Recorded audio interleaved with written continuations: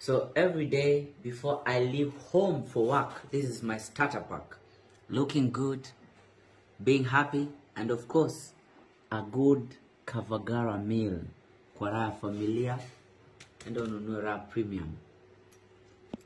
Kenya's number One thing I always purpose as a mom when my baby closes school is the fact that I have to take her for a mini vacation and I always get to book with Urban Vacation and she gets to choose wherever she wants to go. And for some reason, she always goes for Mombasa. I think it's the fact that she loves the beach so much. And uh, the good thing about Urban Vacation is that they have two physical locations, one in Minette House along Mamlaka Road and the new one, the new branch is in Kiambu Road, Four Ways Junction, Total Petrol Station.